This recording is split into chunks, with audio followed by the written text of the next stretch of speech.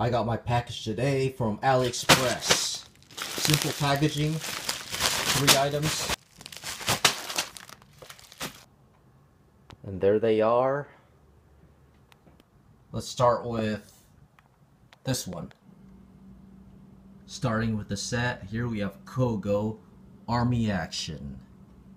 Set number 3312, and this tank looks hideous. Matter of fact, I think this tank is the most hideous official brick built tank so far.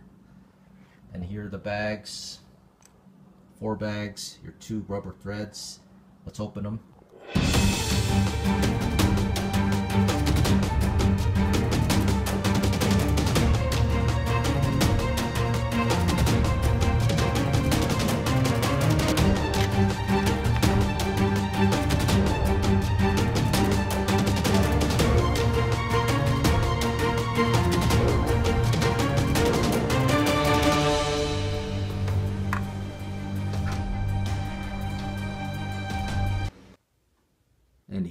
The set finished up.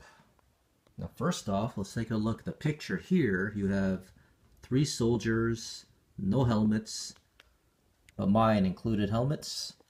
And facial expressions are the same with these two, except that one has a different facial expression right here. So let's start with the minifigs. The two soldiers, the left and the middle one, are identical except for the helmet, which have a different shade of each color. And this one here, that's what I was talking about. Uh, this guy comes with body armor or vest, but on the picture he has printing on the torso and different head, whereas here it's totally different. Also, too, if you notice, the face has shaping compared to these two. They are flat, but this one here is actually like the old Cobi minifigs. If you can look at it. So those are your minifigs. Let's look at the tank. And by the way, here are the extra pieces. Forgot to mention. And sticker sheet, which doesn't show to be used anywhere, so I guess it just came bonus. But here's the tank, the hideous one. Can this be the most hideous tank yet? We'll see. But first, let's check out the details. And here's a 360 view of this hideous, ugly thing. Starting with the turret, you have a antenna here. Uh, this one here, I don't know what that is. Probably a rocket launcher or something. And you have another weapon here. Not sure what that is. I know this one's the cannon, which can go up and down. And you have whatever that is there. And on the top view, you have this piece. And you could probably sit your one of your uh, minifigs on there. Probably here too, but this thing, it'll get in the way of this thing, which does turn slightly and go up and down. On the back, you have an exhaust pipe here. Not sure what these things are. Look kind of out of place to me. You have your radiator grill here, the engine. That's what I believe it is and some side skirts which can go up and down. Even the front two can kind of lift up, but kind of pointless. And the threads do move, but I want to be careful because they feel like they're going to break. So again, I'm just going to not move it so much. So let's take a look at the functions. So to access the interior, you have to take this apart. And this whole thing comes out. There's your interior. And this does open up, but it's kind of uh, tricky to open. There you go, kind of loose. And let's just take this off just to see the interior. So there's your interior. There's no controls, nothing. You could sit your minifigs.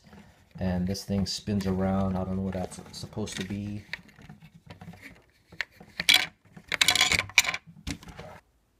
That's it for the interior. Nothing special. Let's put on the tops back. And just for fun, a comparison shot with my other ugly hideous tank. Not sure which one is more ugly. you decide which one is. I did a review on this one, and I do think this Cogo tank is the new king of hideous looking. So anyways, let's conclude my review. I'm not sure what the designers were thinking when they were building this tank and designing it, but yes, it is hideous.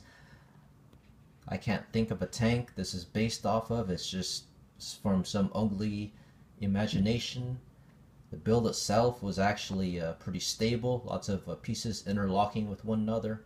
And while building it, um, the instructions kept me guessing. There was nothing that was too repetitive. It was actually very interesting building this.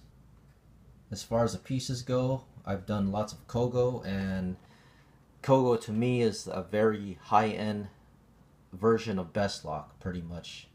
Pieces uh, go together pretty decently, and there are a few problems here and there, nothing too major, but overall the pieces come together neatly. And this tank for me costs 20 bucks, which is I think kind of high. I think 15 would be good, or even 12 or 10 would be perfect. But this is where I got it. it was from AliExpress, and I've seen this for sale there for 40, which is way too much. Don't spend 40 bucks for this thing. Spend 20 or less. It's not worth 40. So this is an okay tank. If you're going to go for Cogo, go for different tanks because this one is just hideous. This is Brickhead Boy. Thanks for watching.